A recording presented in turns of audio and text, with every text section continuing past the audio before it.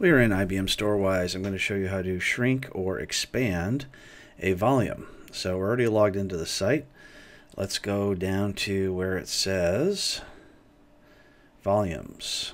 Click on volume. And here is our volume. So uh, it's a three terabyte volume. What we can do is we can shrink it or expand it. Let's go ahead and click on shrink. And we can shrink it. Let's just go ahead and shrink it by one gigabyte just to make it easy and it shows what our new size is after we do that.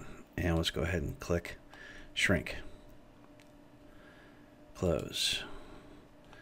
Alright so there is our new size. Let's go ahead and expand it.